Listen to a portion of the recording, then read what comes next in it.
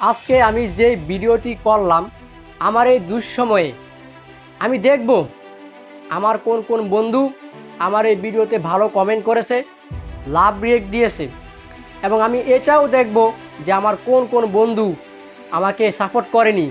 আমার যখন ভালো সময় আসবে, আমি যখন প্রতিষ্ঠিত হব, তখন আমি পই পই করে এই হিসাব তাদেরকে বুঝিয়ে দিব। আসসালামু আলাইকুম আরহামতুল্লাহ। সুপ্রিয় দর্শক এই যে এই লোকটি, আমাদেরকে মডিফাইমূলক অনেক কথা শোনাচ্ছে, কিন্তু তার বিনিময়ে আমরা কি শিখছি? আমরা মূলত পরহিংসামূলক কথাই শিখে থাকি, প্রিয় দর্শক। পই পই করে হিসাব রাখতে হবে যে আপনার দুঃসময়ে কে ছিল কে ছিল না। পই পই করে হিসাব রাখবেন, ডায়েরিতে দরকার লাগলে লিখে রাখবেন।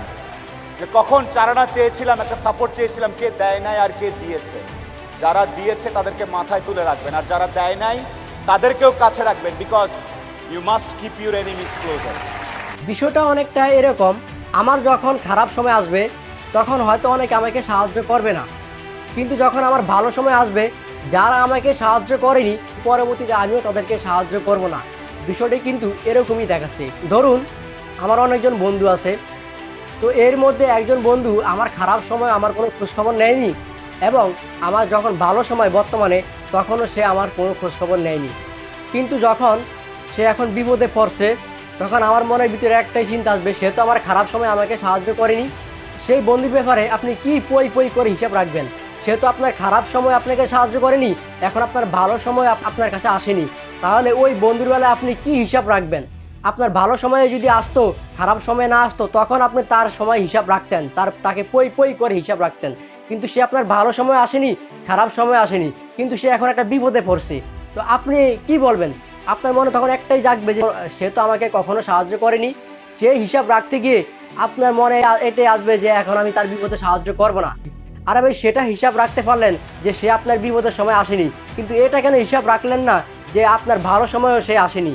এখন তার বিপদের সময় আপনি তাকে সাহায্য করছেন না।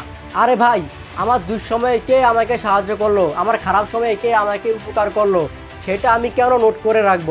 বরং আমি নোট করে রাখব এটা, যে আমি কতজনকে সাহায্য করতে পেরেছি, আমি নিজে কতজনের উপকারে আসতে পারলাম, আমি সেটা নোট করে রাখব।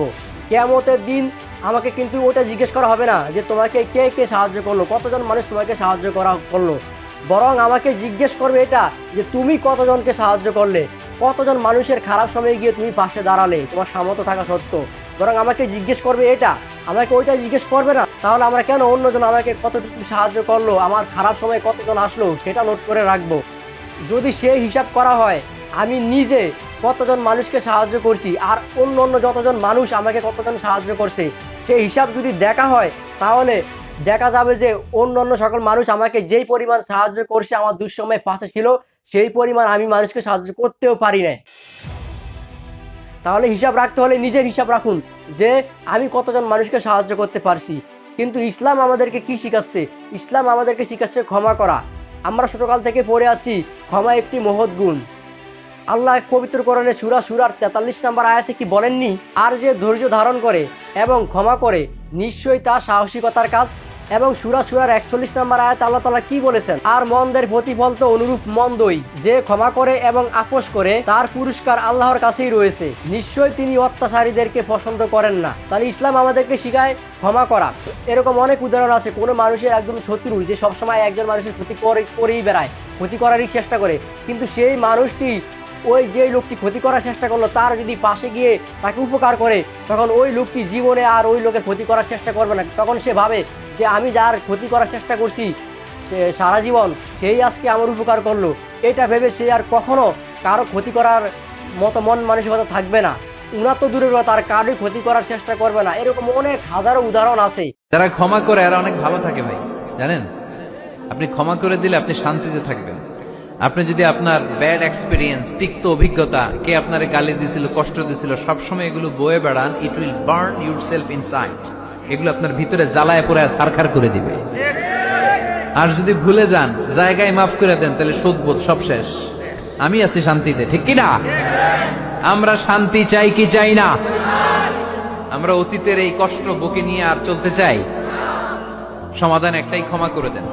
তাহলে এরকম মডিফাইমূলক আমাদের কথার কোনো প্রয়োজন নেই, যেটা আমাদেরকে পরহিংসা বানায়। ধরুন, আমি হিসাব করে আমার একটা বন্ধুকে আমার খুব কাছের বন্ধু বানাইছি, কারণ সে আমার সবসময় বিপদে আছে। কিন্তু সেই বন্ধু যদি বিপরীতে আপনারটা হিসাব রাখে যে, আপনি তার সময় কতটুকু কাছে ছিলেন, সে যদি হিসাব করে দেখে যে আপনি তার কোনো বিপদে আসেননি এরকম। এবার সে যদি তার লিস্ট আপনাকে না রাখে, তখন আপনি কি করবেন? আপনি তাকে আপনার লিস্টে রাখছেন ঠিকই যে সে আপনার উপকার করছে। কিন্তু সে যদি আপনাকে তার লিস্টে না রাখে তখন আপনি কি করবেন? এই সমস্ত হিসাব করে জীবন কখনো সাফল্য অর্জন করা যায় না। আজকের ভিডিওটি এই পর্যন্তই। আল্লাহ হাফিজ।